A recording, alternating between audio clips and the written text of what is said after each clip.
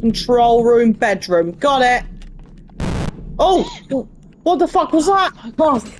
I mean, it didn't give me a jump, I think, because I'm dead inside a little bit from the last game. But, um, oh, look, the door's open. Look at that. That's not worrying at all, is it? Yeah.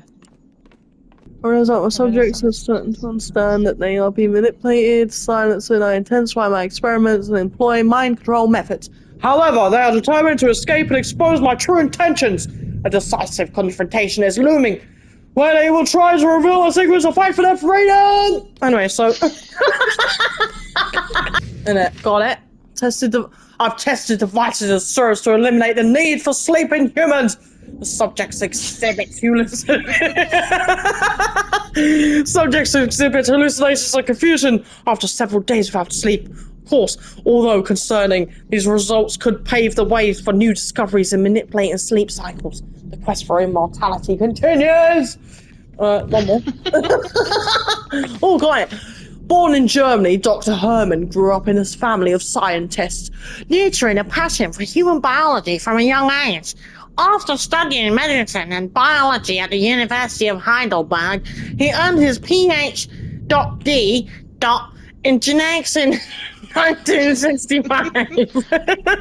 his promising career appears poised to revolutionize our understanding of the life, life sciences.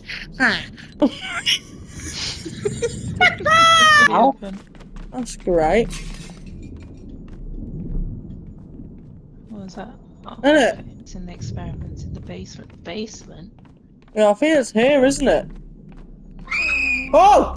Oh! Oh my god! Oh, oh god! Come sprinting. Oh my god, did you see that? Yeah. She's Oh. still there. Oh! Oh! Oh! Oh! no, oh. this is scaring the absolute shit out of me. And it, it's the noise. It's like, it's like you have completed your mission. It's like cannot extinguish. it's like why, why, um, why have it here as an Uh, option? Okay. Uh, that was quick. Okay. Yeah, I'm just gonna, just gonna, just gonna burn. it's like golden Should we find one ball. It's a fireball. Fireball. I wish I could emote. I would do the, the fire dance. Oh, you're on fire. Yeah. This gun is on fire. I can't even crouch. What the fuck? What the you hell? Oh, I can see oh. you crouching. Oh, okay. I, I, I couldn't see. Oh, yeah, now I am. Yeah, yeah.